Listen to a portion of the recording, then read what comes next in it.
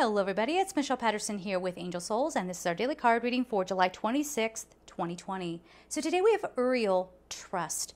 So this might be one of those things where our instincts are telling us to carry on in a certain way, and maybe that's not how we usually respond to something, or maybe that's not how we usually deal with something, or maybe there is an actual, you know, circumstance in your life that changes drastically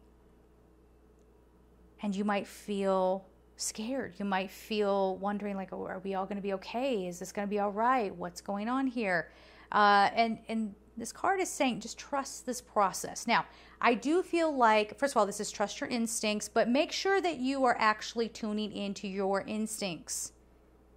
Because the ego has a, a way of kind of flipping around and trying to convince you that that's the guidance when it's not. Okay? So this is saying once you're tuned into your intuition, you can trust that guidance. Don't put that guidance on other people if they don't ask for it. Again, it goes back to that whole thing of my guides say this about you, and therefore you have to listen to me. That's usually somebody who they don't they're not vibrating at a very nice level, okay? And um, you know there are words around that, but we'll leave them out here. Uh, so just trust the process. So the other thing to trust is that we're going to be seeing some things that feel like we're really getting, like the walls are closing in on us. And it feels like we don't have control. Now, this is just an illusion, okay, that, that sense of us not having power or control.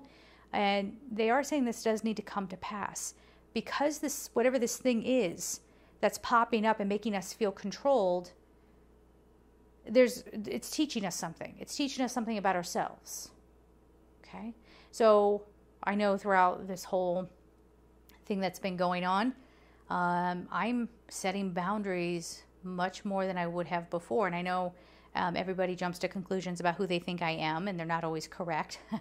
but I am in my my day to day life. Um, you know, I tend to let a lot slide. And then when it's getting to be too much, where my boundaries are really getting crossed, and, and not doing it in an angry way, not doing it in a jokey way, but firm, with all love and respect, here's what needs to happen, right? As far as I am concerned, this is what needs to happen. So trusting your instincts when you do feel like you need to put your foot, foot down like that.